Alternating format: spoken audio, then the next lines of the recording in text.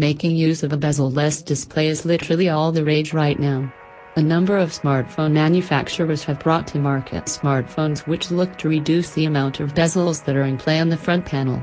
Besides the increased display surface area, the obvious benefit of this type of design is that the increased display size does not come at a cost of an increased smartphone size.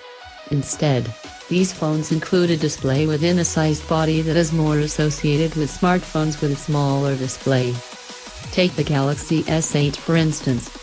This one comes in two variants, one boasting a 5.8-inch display and one boasting a 6.2-inch display.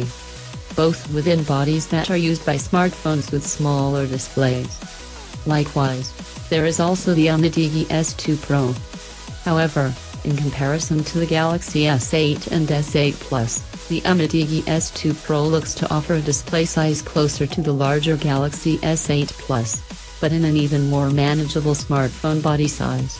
As the display on offer with the UMIDIGI S2 Pro is a 5.99-inch display.